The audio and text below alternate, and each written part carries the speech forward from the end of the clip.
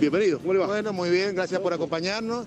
Realmente estamos muy movilizados, que nos acompañe toda la sociedad sanjuanina en este 74 aniversario de la independencia del Estado de Israel.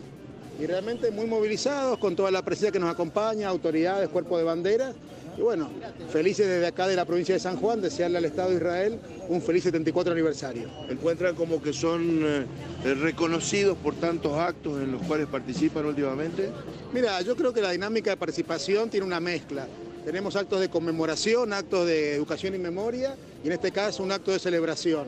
Que el Estado de Israel cumpla 74 años nos llena de orgullo de ver en, en Medio Oriente una, una nación pujante, una nación que mantiene en todos sus años la democracia ante todo y nos llena de orgullo y estamos muy felices que nos acompañe toda la sociedad en este el acto. El Estado de Israel en la provincia de San Juan se ha comprometido con la provincia de San Juan por lo que se ve tan activo eh, y comprometido con las políticas públicas de la provincia.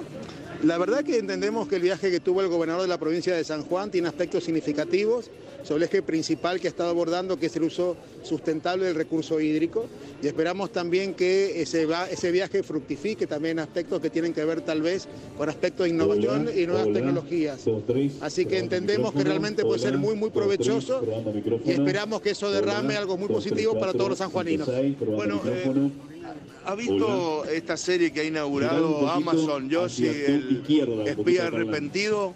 ¿Tiene algún comentario con respecto? Porque Ah. es muy fuerte. Ahí. No lo he visto, Hola, pero bueno, hola. cada político...